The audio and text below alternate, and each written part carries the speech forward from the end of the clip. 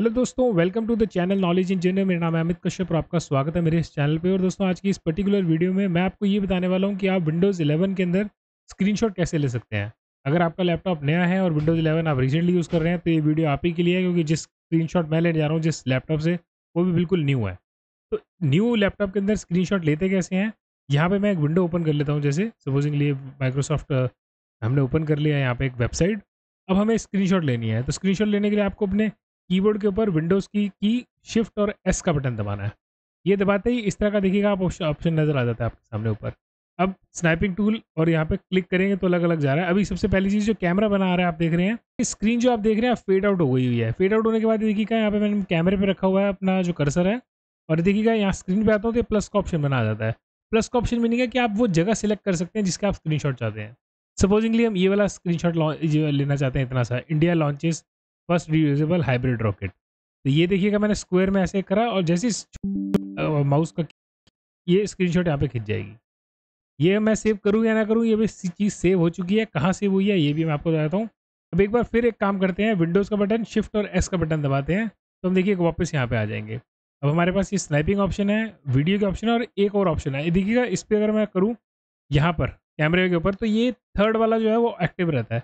इसको ओपन कर सकते हैं, यहाँ पे हम रेक्टेंगल विंडो फुल स्क्रीन और फ्री फॉर्म ये तीन, ये चार चीज़ें जो दी गई हैं, इसके हिसाब से हम अपनी स्क्रीनशॉट ले सकते हैं।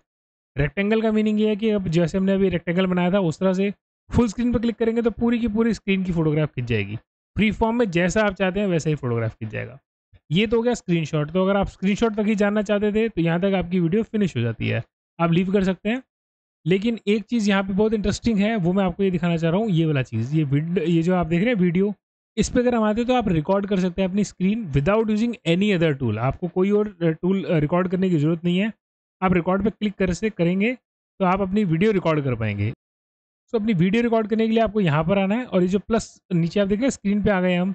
अब हम जितनी स्क्रीन सिलेक्ट करेंगे, उतनी स्क्रीन रिकॉर्ड होने लगेगी।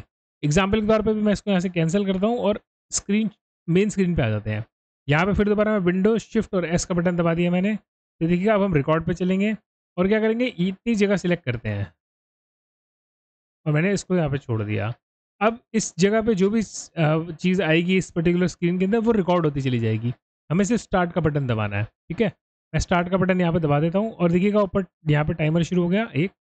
अब अब जो ये देखिएगा रेड चीज़ शो हो रही है, इसके अंदर जो जो चीज़ दिखेगी, वो रिकॉर्ड होती चली जाएगी। जस्ट एन एग्ज़ाम्पल यहाँ पे फिर दोबारा से विंडोज़ ओपन करते हैं ये। ये वेबसाइट ओपन करिए मैंने ऐसे स्क्रॉल कर रहा हूँ। तो जो जो चीज़ रेड के अंदर आ रही है, वो रिकॉर्ड होती चली जाएगी। अब मुझे स्टॉप करनी है रिकॉर्डिंग तो वापस यहाँ पे देखिए स्टॉप का बटन है, इस पर क्लिक करेंगे तो रिकॉर्डिंग स्टॉप हो जाएगी और देखिएगा रिकॉर्डिंग यहाँ पे चलने भी लगी। रहा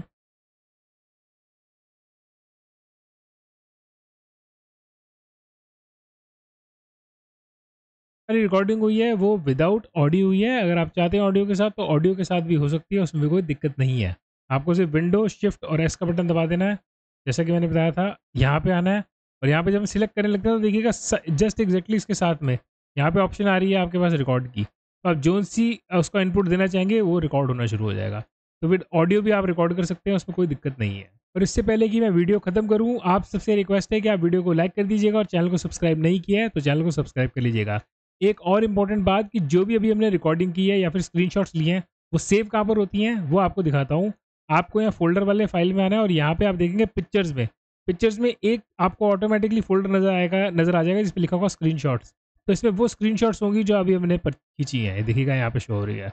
और इसी के अंदर आप लेफ़्ट साइड पे देखिएगा वीडियोस का ऑप्शन आता है वीडियोस पे जाएँगे तो यहीं पर एक ऑटोमेटिकली आपको एक फोल्डर नज़र आ जाएगा, जिसपे लिखा होगा स्क्रीन रिकॉर्डिंग ये देखिएगा यहाँ पर। इस पर डबल क्लिक करेंगे तो ये देखिए स्क्रीन रिकॉर्डिंग्स हैं जो भी अभी हमने की हैं। आप अपना जो रिकॉर्डिंग्स है, वो यहाँ से ले सकते हैं और उसको यूज़ कर सकते हैं।